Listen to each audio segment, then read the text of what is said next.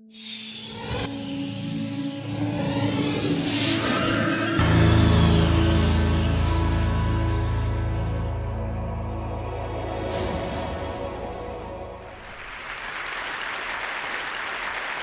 you ask people about uh, what, what part of psychology do they think is hard, and you say, well, what about thinking and emotions? Most people will say emotions are terribly hard, they're uh, incredibly complex, they, I, can't, I have no idea of how they work.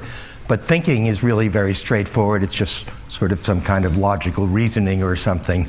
Uh, but that's not the hard part. So here's a list of problems that come up. One nice problem is what do we do about health? The other day I was reading something and the person said probably the largest single cause of disease is handshaking in the West.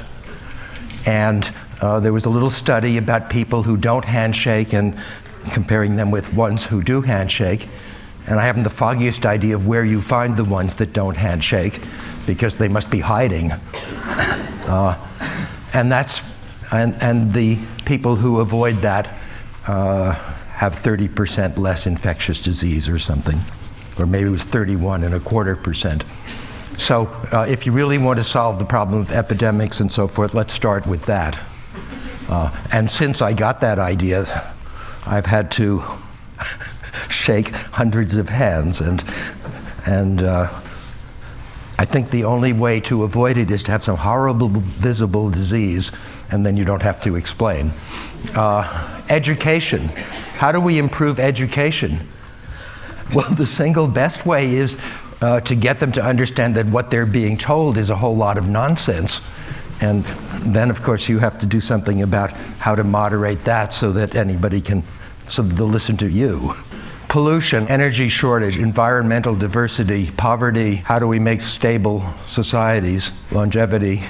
Okay, there are lots of problems to worry about. Anyway, the question I think people should talk about, and it's absolutely taboo, is how many people should there be?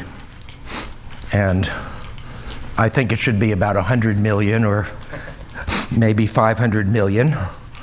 And then notice that all of these, that a great many of these problems disappear. If you had 100 million people properly spread out, then uh, if there's some garbage, you throw it away. Preferably where you can't see it and it will rot, or you uh, throw it into the ocean and some fish will benefit from it. The problem is how many people should there be, and it's a sort of choice we have to make.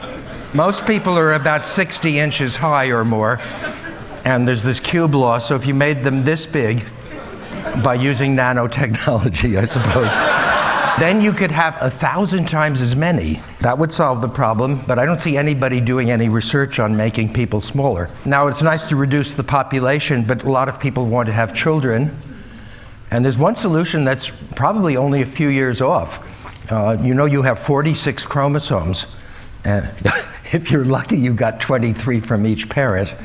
Uh, sometimes you get an extra one or drop one out. But uh, so we could skip the grandparent and great grandparent stage and go right to the great great grandparent. And you got 46 people, and uh, you give them a scanner or whatever you need, and uh, they look at their chromosomes, and each of them says which one he likes best or she. Uh, no reason to have just two sexes anymore either. so each child has 46 parents, and I suppose you could let each group of 46 parents have 15 children.